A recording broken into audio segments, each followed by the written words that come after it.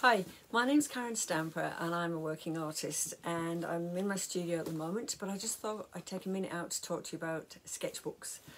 Um, I work in my sketchbooks a lot and have done all my life. I used to travel a lot and I would always have a sketchbook by my side and now I have my own studio. I have a pile of sketchbooks here which I use for reference.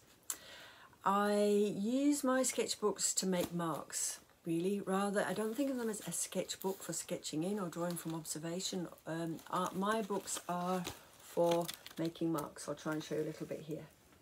And I work in concertina sketchbooks which I have done for the last few years probably five years or more. They're wonderful books. They're great fun. You start working and then it goes to the next page next page next page and then you flip over and you've also got the back as well so I use these books all the time now.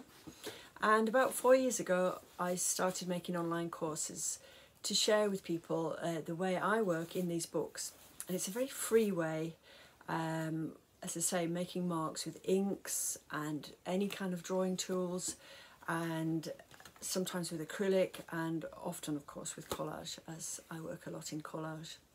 So I have quite a few online courses. You can find these at karenstampercollage.com.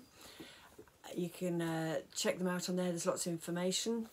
And I have a, most of them you can have, uh, they're evergreen, so it means you can start them anytime and you have them for life. And I also have a six week course called Free Up Your Sketchbook and Grow. And that one you need to sign up for certain, uh, certain times.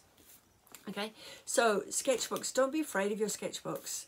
They're great fun once you learn to be um, expressive and not worry about the marks you make in your book. That's the way I like to teach, to, to keep developing and pushing your work from your own marks. So you start to develop your way of working, your own language, which you can then take into bigger pieces of work if you want, or you can just keep them as beautiful little works of art in themselves as these sketchbooks.